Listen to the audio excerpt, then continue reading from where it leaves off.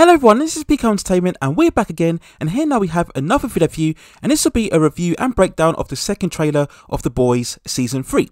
Now you can check out my review of the first trailer which was released a couple of months ago and I'll leave some links within the description. Now there may also be spoilers for the previous two seasons throughout this video so just beware when going into this overall review. Now Season 3 of The Boys is due to be released on Amazon on June the 3rd, 2022. So we'll get straight into it then, and I think overall this is a very action-packed and explosive trailer, showing lots of promising elements for the upcoming season. We started off the trailer with the first couple of scenes where we're very much looking at a Homelander who's assumedly very unhinged, which is kind of ironic because we could say that there's always been something mentally wrong with Homelander ever since the start of the show. That's very much the concept of the character, that he's an egotistical, insecure, corrupted version of Superman. So quite how they're going to paint Homelander being even more crazy than what he already has been will be very interesting to see. We see in the earlier parts of the trailer where he's talking to media, stating that he fell in love with the wrong girl. I assume he's talking about Stormfront, who, as we all know, they have very much had a relationship, much more of a casual relationship, I'd say, throughout season two. We see later on scenes that we saw from the first trailer where he's milking the cow, he's lying in bed with some blood beside him. There's some other scenes where he's freaking out, he's running around shirtless, just really seemingly losing all of his composure, whatever composure he had throughout the character that we've seen so far throughout the show. So it will be interesting to see what exactly has triggered this very much unhinged state of the character. Is it the longing to see his son Ryan, who remember appeared in season 2? We had that very tragic conclusion at the end when Ryan had to kill his own mother in order to save her from Stormfront and they very much bargained as a way to protect Ryan from Homelander that if he came anywhere near him, they would release footage of Homelander killing all of those passengers of the plane, if you remember from season 2. Now, suppose the other big standout element throughout this trailer was the emergence of Soldier Boy, who's played by Jensen Ackles, who we all know primarily from the Supernatural show. And as we see from this show, he's very much the concept's idea of a Captain America variant who yearns very much to join the Seven from the comic books. We see the earliest scenes here where he's very much battering someone to death with a shield.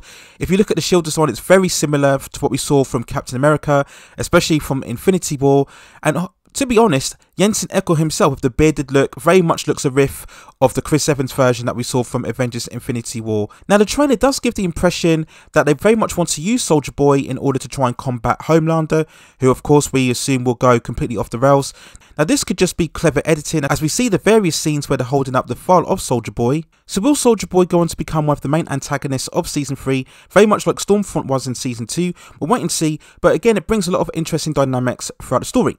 When we catch up with the boys themselves, it initially looked as if they finally settled down back to some sort of state of normalcy after having all of their charges cleared from the end of season 2.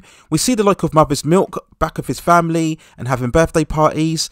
We see that Hughie is very much working in office with Victoria Neuman, as what we saw at the end of season 2, and it'll be very interesting to see how prominent a role she has throughout this particular season.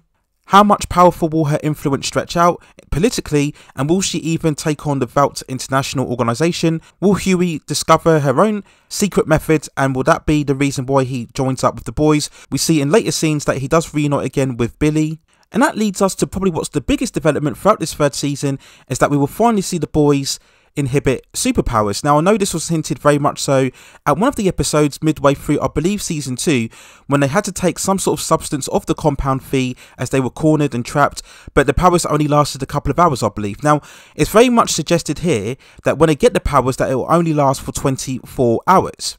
And we already saw this in the first trailer and the promotional material where we see Billy Butcher's eyes lighting up as he's very much got the same heat vision that what we saw with Homelander. And we'll also get a very interesting narrative as to how will the boys deal with superpowers? Will they be corrupted in the same way that the Seven are? There's that line spoken, I believe, by Mother's Milk when he's encountering Billy, stating that the reason they got into this in the first place was to stop superheroes going rogue. And Billy replies that this will even up the playing field. So, will we see a story arc where Billy eventually gets consumed or addicted?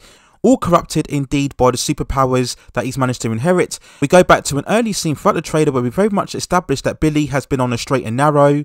So I believe that's the kind of story arc that we will be seeing, that Billy will start off in a good place, get absorbed by having the superpowers, and maybe we'll see some sort of tragic event towards the end of the season 3. And as I said with my review of the first trailer, I'm not quite sure if I'd want to see the boys permanently have superpowers. I think a lot of the tension and the jeopardy is generated because they don't have superpowers and they're taking on very superpowered beings. But if you level the playing field, very much an example of having Billy versus Homelander, if he's got the same power levels, then I think you can take that tension away because the boys are very tough, gritty combatants who would I believe would more than hold their own if they had the similar same powers as what we saw with the Seven. It also seems like the other members of the Seven won't really be working with Homelander, but very much working against him. As we saw throughout this trailer, we saw Maeve passing over the compound V to Billy. We see Starlight recognizing that Homeland has gone crazy. We had that other moment where we see Homelander grabbing A Train and his eyes lighting up. So at the moment, it will almost seem like there will be some sort of internal motivations from the other members of the Seven to take down Homelander. And as we know, there are some spare seats on the team. We saw in another scene with the Deep walking back with Homelander. As we all know, he's very eager to come back to the Seven. He was turned down at the end of season two, as there was only one entry left back for A Train.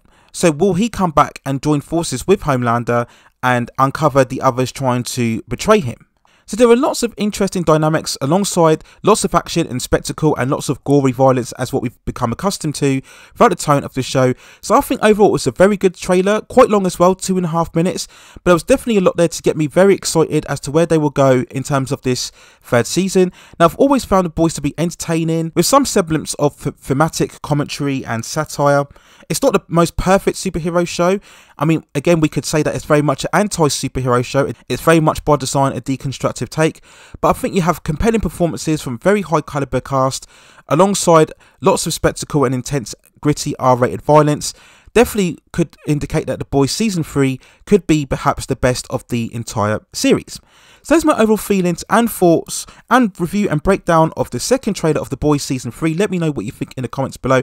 And as usual, when I cover television shows, I will provide reviews of the opening episode if there are any standout episodes throughout the season, and of course the overall season reviews. So look out for those within the channel in the future. If I have time, I may do a quick review of seasons 1 and 2 in preparation for the third season, so look out for those in the future as well.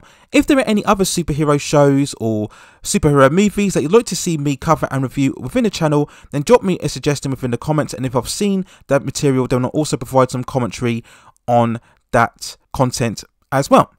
Please also hit and like the subscription and notification buttons so I can provide you with more high quality content like this in the future. But that's it for now. Take care of yourselves, stay in safe distances, and I will see you very, very soon.